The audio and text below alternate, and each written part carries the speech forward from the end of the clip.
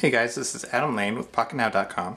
We're here with the hardware tour of the Samsung Vibrant on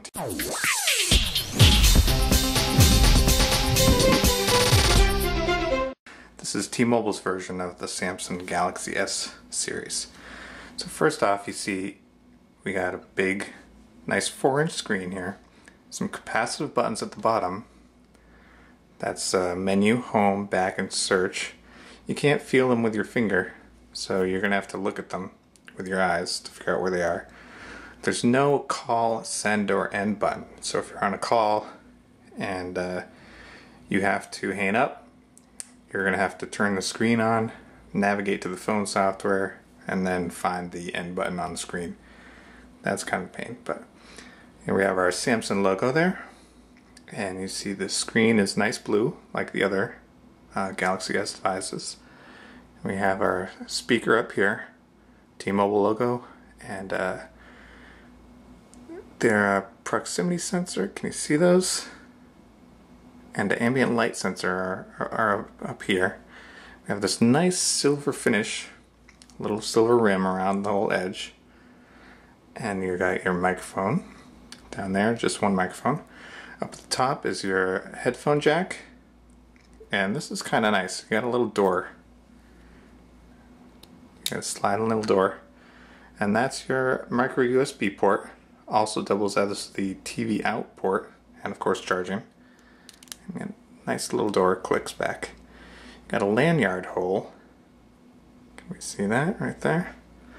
Volume switch up and down. Right there where your thumb would be. And over here is the power button, which I really like. Because, see that? You can just hold it in your left hand. There's my power button. Volume controller right there.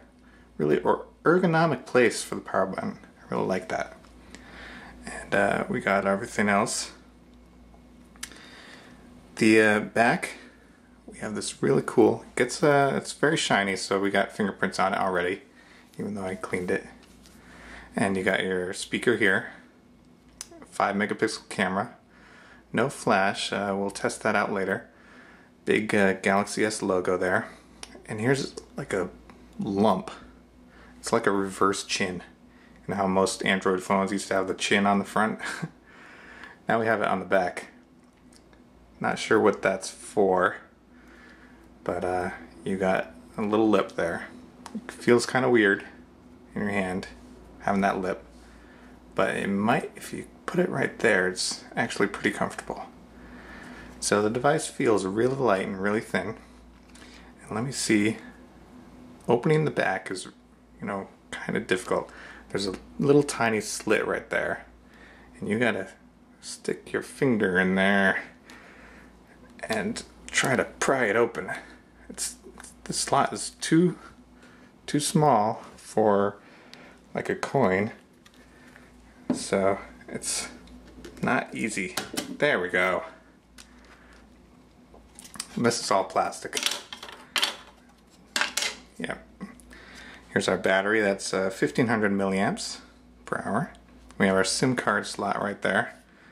And uh, this is our micro SD slot.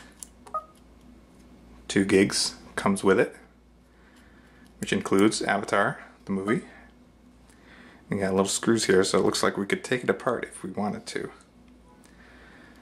So there it is. Let's put this back on. Samsung Galaxy S Vibrant on T-Mobile. Looking pretty nice. And uh, stay tuned for more. We'll go over the software in a uh, next video. That's it for now.